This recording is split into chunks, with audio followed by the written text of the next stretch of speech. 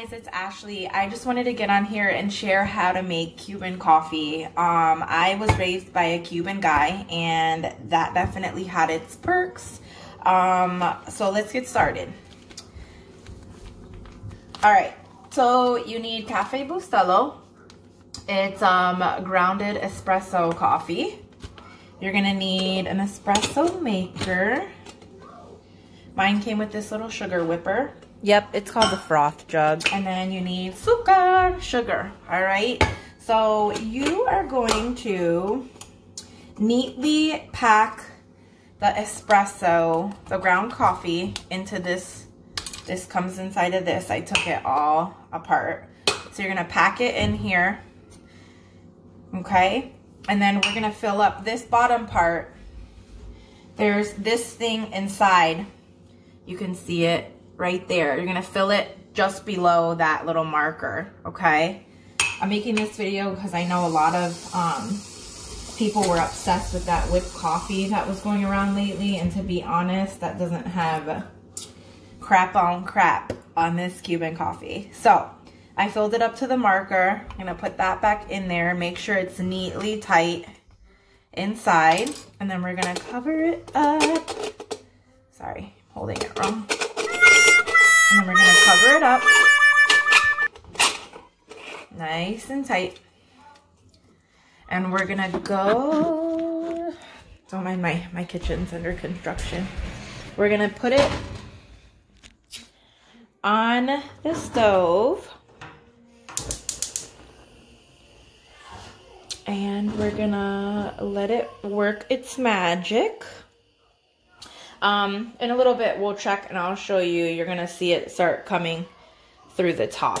Um, so I'll show you as soon as that's ready.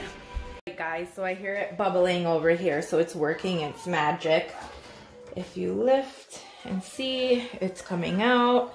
Um, this is a smaller espresso maker. I forgot to tell you guys, keep it on like medium. But this is a smaller espresso maker. There's a larger one as well. This is more for like um, shots of coffee. Um, and I also wanted to say that I ordered my espresso maker. It came with the espresso maker, the sugar, the mixer, whipper cup. And then um, it came with a little thing of coffee on Amazon. It was about like 35-ish bucks.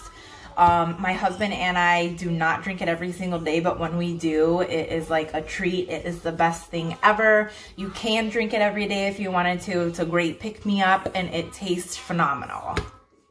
All right, guys, when that is done, you take it off the stove, and you pour a little bit in your cup, about mm, that much, about that much um, and you add sugar in it. I have um, half a tablespoon here. I'm going to add two of those. Depends on how sweet you want it. I like it sweet, like everything sweet. And you're going to whip it up so it becomes like a thicker consistency. And then we are going to pour a little in there. I'm gonna pour our coffee. Woo, poured that too fast. And then we're gonna enjoy.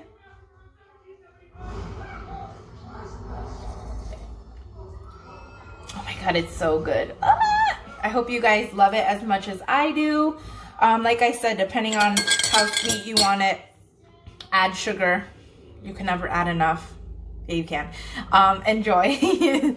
Thanks for watching. I hope you enjoyed. If you have any questions, you're more than welcome to ask me. Um, go follow our page, like, watch, and subscribe, and enjoy. Hey.